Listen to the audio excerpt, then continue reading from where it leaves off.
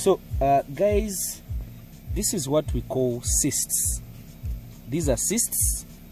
Uh, is one of the worms that are really so persistent that you cannot even give uh, these normal drugs eh, to respond. So, uh, these cysts can really cause a lot of diarrhea in animals, and uh, even if you give it these other uh, dewormers, it cannot respond. The only dewormer that does it well or that can kill it, those are the ones that have um. Do you see? This is a worm. It's called a. It even has a mouth where it feeds from. eh?